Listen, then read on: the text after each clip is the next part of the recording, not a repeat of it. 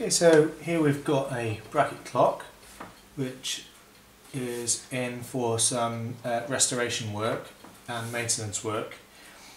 Uh, I'm just going to go through a bit of a, an assessment just to see what its current condition is is like at the moment. Uh, so um, first off, first thing we notice straight away is the um, uh, the case is rather tired.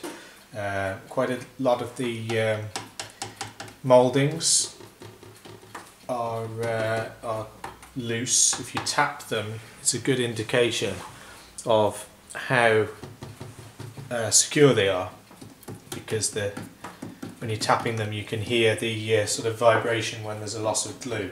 So quite a lot of the uh, veneer and the uh, mouldings are um, are loose. That's the first thing that I notice.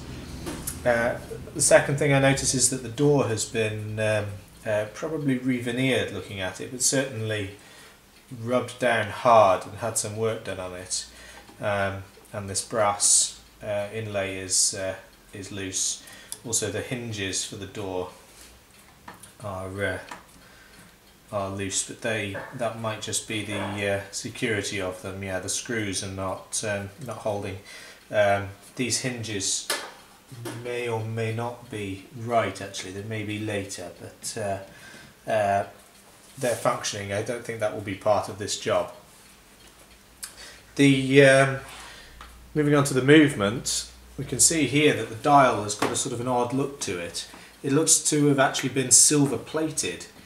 Uh, that's not correct. It would have originally been straight grain and uh, then silvered uh, with a, um, a cold chemical silvering process that we use traditionally in, in horology, uh, not, uh, not a, a, plating like this.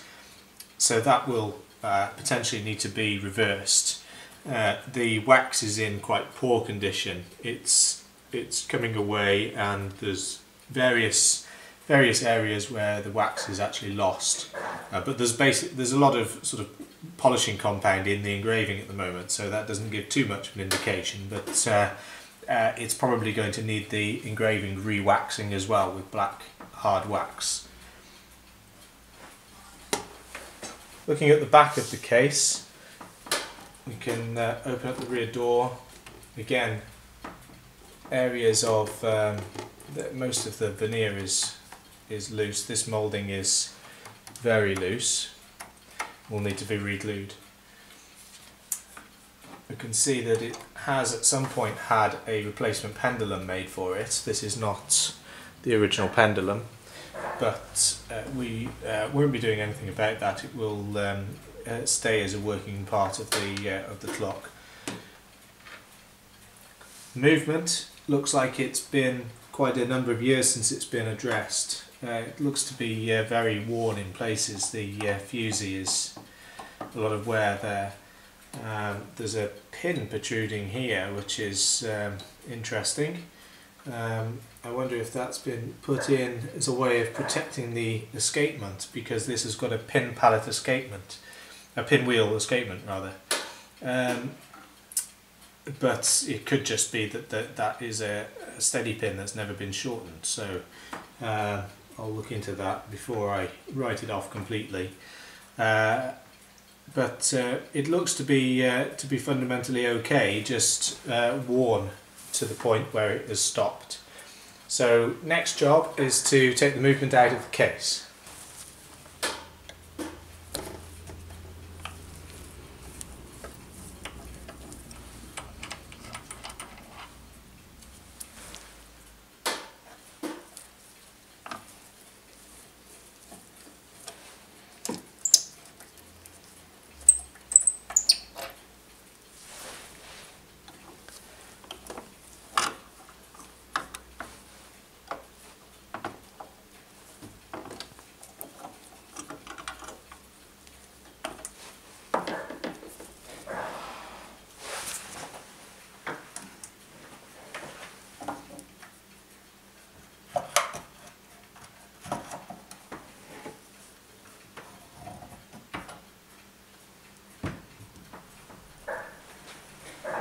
So just assessing the movement, the condition. first thing that strikes me straight away is that the uh, lines here on the fusees are phosphor bronze. Um, that's not the the worst that I see. The worst is when they're fitted with steel lines. They are really horrible and they really wear the um, surface of the barrel and the grooves of the fusee. But uh, phosphor bronze isn't as isn't as bad. It is a little bit better for the clock, uh, but they're not as strong as people think. They do uh, break, uh, and I don't like them, and I don't refit them. So uh, this will be going back to. Um, it'll probably have synthetic uh, gut lines fitted when this goes back together. But I can see that there's quite a bit of of dirt uh, on the surface of the teeth, which indicates that it's uh, it's actually uh, picking up and starting to wear, because there shouldn't really be any any dirt or grease in the in the teeth like that.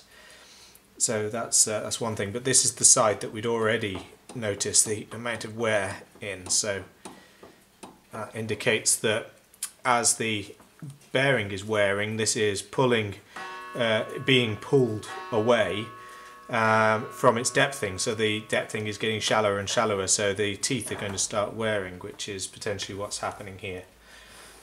So we'll just turn the movement around. You can see everything seems to be intact and I can't see anything very obviously uh, uh, missing or broken apart from the uh, nut that's retaining the bell, which is a uh, uh, just a, a small BA nut where it should be a square uh, larger nut. So I'll just take the bell off to have a look.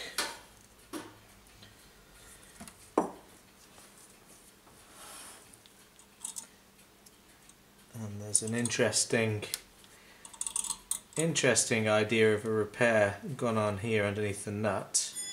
That's uh, some form of electrical uh, nut or collet of some description.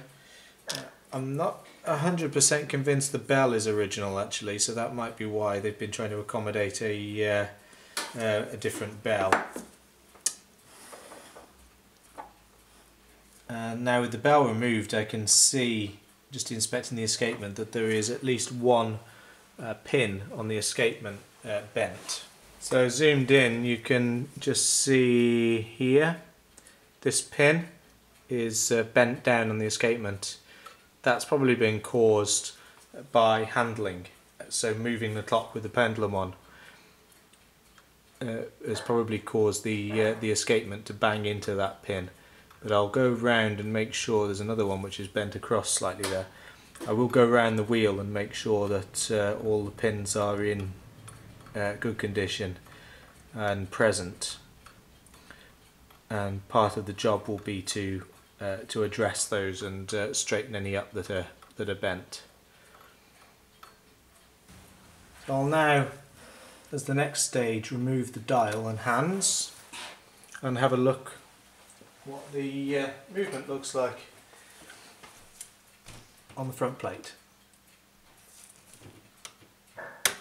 So the first thing we do is extract the pin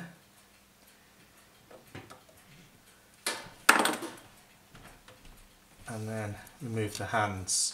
Just having a look at the hand as I'm taking it off. And then this hour hand has got a sliding uh, latch type retainer. Sometimes they have a screw, sometimes they have pins, uh, and sometimes they have this type of latch. And there's the hour hand.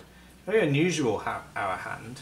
I can't say I've uh, ever seen anything quite like that.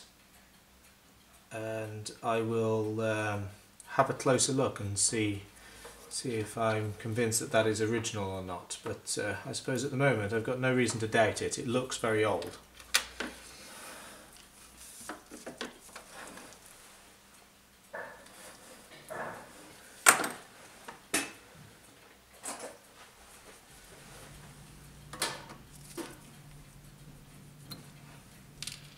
removing the retaining pins.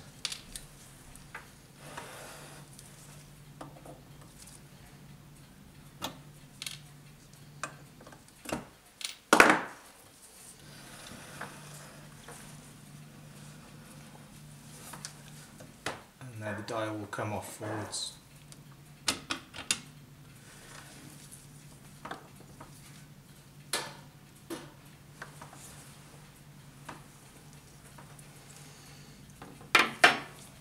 Okay, so there's the dial side of the movement. This is the uh, front plate and the uh, rack striking mechanism. There is a, a bit of uh, damage to the rack tail, but nothing out of the ordinary. Uh, small soft solder repair here. But the gathering pallet is present. Uh, everything seems to be in relatively good order, uh, apart from the fact there's a missing pin here uh, for the uh, fifth pillar, that, that's uh, easily uh, rectified. Uh, the only thing that jumps out at me as a, a, a nasty is this plate here. This is not original, and you'll see it's actually uh, addressing wear in the uh, in the front bearing of the fusee, and that's something that somebody's retrofitted as a sort of a way of uh, um, of taking up some wear. Uh, that's not the correct way of doing it, and I'll be removing that and doing it the job properly. You can see here, if I zoom in, you can see here, this is the uh, escape wheel pivot, and you can see how red it is with dried up oil. And this oil is now actually mixing with uh, uh, with, it's just full of dirt and it's a grinding paste. It is it's wearing the um, the pivot, so that's uh, an indication that it, this clock is well past uh, needing needing an overhaul. The dial has at some stage been um, silver plated, which is uh, a really uh, odd thing to do. It's not the uh, normal practice and uh, I will have to speak to the client and see what they want to do about it. But uh, I think we're going to be uh, reversing that and um, um, uh, and putting the traditional grained finish and restoring the wax as I mentioned earlier. But it's a really um, odd thing to have been carried out. The back of the dial actually looks quite nice, but whether we'll be able to um, to restore the front of the dial without affecting the back of it. I'm not sure yet, but uh, I hope that I will because I always like to retain the back of the dial in untouched condition as much as possible. Right, so there we go, we've got the movement and dial separated and out of the case so we can have a, a closer look at the uh, condition and I will now go and have a uh, chat with the client and see what the uh, what the brief is, give him my recommendations, and we will go from there.